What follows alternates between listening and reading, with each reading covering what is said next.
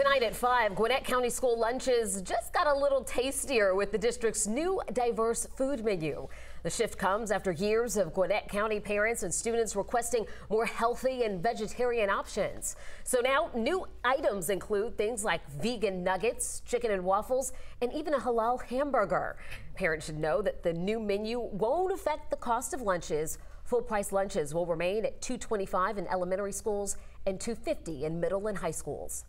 We have a very global population here in Gwinnett. Uh, so we like to give lots of options so our students can navigate the line. We want everybody eating lunch with us who wants to and eating breakfast with us. So we feel like the more options that we give the students, the better chance that they'll find something that they like.